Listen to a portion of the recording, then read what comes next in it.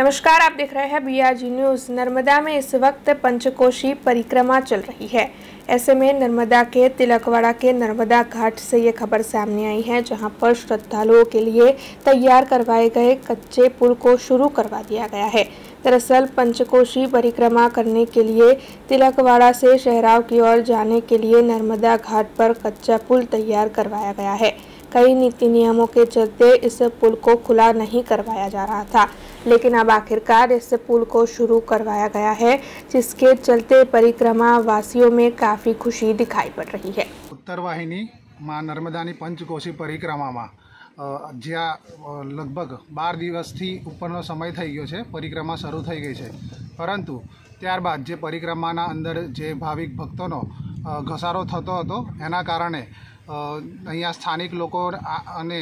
નર્મદા જિલ્લાના આગેવાનો દ્વારા એક કામચલાઉ બ્રિજનું નિર્માણ કરવાની પરવાનગી લેવામાં આવી હતી અને પરવાનગી લીધા બાદ એ બ્રિજ અત્યારે શરૂ થઈ ગયેલ છે. જેથી તમે જોઈ શકો છો કે અહીંયા જે પરિક્રમાવાસીઓને પહેલાં નાવડી માટે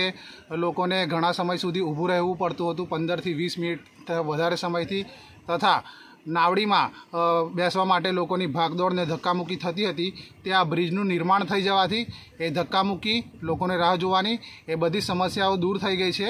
અને આ બ્રિજ નિર્માણ થયા બાદ બેથી ત્રણ દિવસ સુધી વહીવટી તંત્ર દ્વારા એની પરવાનગી આપવામાં ન આવી હતી. પરંતુ સ્થાનિક આગેવાનો તથા સ્થાનિક સંગઠનો દ્વારા તેની ઉગ્ર રજૂઆત કરવાથી અને પરિક્રમાવાસીઓ પણ આ બ્રિજ શરૂ કરે એના માટે માંગણી અ, કરતા હતા જે માંગણી કર્યા બાદ વહીવટી તંત્ર દ્વારા ગઈકાલે દસ તારીખે આની પરવાનગી આપવામાં આવી હતી બ્રિજ પરથી પસાર થવા માટે અને અત્યારે અ,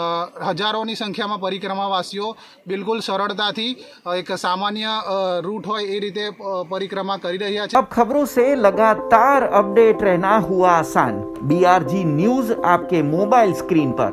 आज ही बीआरजी न्यूज़ की mobile app Google Play Store और ऐप स्टोर से डाउनलोड करें और खबरों से लगातार जुड़े रहें।